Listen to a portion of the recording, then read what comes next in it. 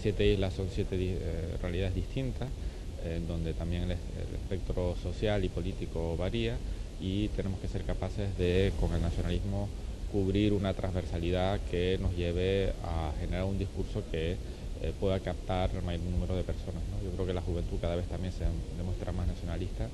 y que debemos tener también un mensaje muy, también muy vinculado a las necesidades y oportunidades de nuestra juventud.